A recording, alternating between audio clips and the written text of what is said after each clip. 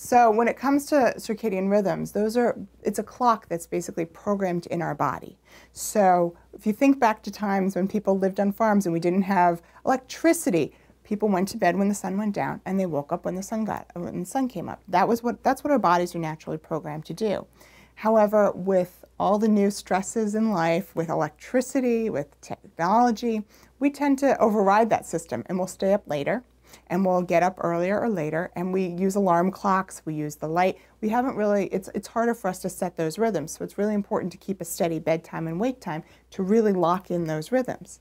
Now, circadian rhythms become very interesting and problematic for patients because when you become a teenager, your rhythms actually tend to naturally shift. So someone who's a child usually goes to bed at about 8 o'clock and 9 o'clock at night. But then when they have a circadian rhythm shift, it shifts later. And this is natural and they start to go to bed at 11, 12, 1, and they want to sleep later. So we see this a lot in teens. And there's a problem for them when they have to get up and go to school in the morning. They're very sleepy. Yet on the weekends, they'll sleep 12 hours, they'll sleep late, and then uh, go to bed late, wake up late.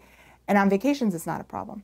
So we, we don't really treat it unless it's actually a real problem for them in school. And then some patients actually find that this problem continues into adulthood.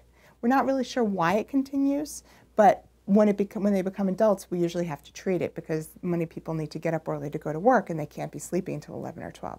So we use treatments like bright light therapy, melatonin, things like that that are very effective. And then we have other opposite problems with circadian rhythms that can happen when you are, a lot of times with older adults, they start to go to bed at 6, 7 o'clock at night and they wake up at 2 in the morning.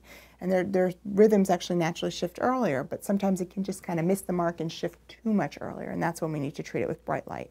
Then circadian rhythms come into play with shift work. So a lot of people who work rotating shifts, they work at night, their bodies are set to want to be awake during the day and sleep at night. So there are some people who have a lot of trouble adjusting their rhythms and they have trouble working the night shift. They're sleepy, they're drowsy driving home.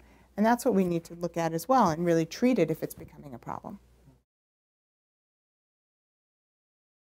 Yeah, there are some people who just naturally do it better. It's uncommon, but there are some people who just have a delayed sleep circadian rhythm and they just they sleep better at night or during the day than they do at night. So they've a lot of those people with delayed sleep phase disorder, they start to work in bars, they work some of the late night shifts, they sort of adjust to doing it more and more as time goes on. All right, so jet lag, it depends which direction you're going and it's it can be a little complicated, but there are a few different treatments. So one would be if you're going um, if you're going somewhere uh, sorry, it's hard to think about. If you're going somewhere east from here, generally what you want to do is you want to um, try and have your bedtime earlier and earlier. So what we'll do is I'll have someone adjust for a week or two by going to bed 15 minutes earlier and getting up 15 minutes earlier every night. So that can be a really simple thing. Um, honestly, what we use a lot is melatonin. So we'll use lower dosages of melatonin, taking it at different times depending upon where you're traveling. Um, and that can really help adjust the, the body, um, the body's rhythm to wherever you're going.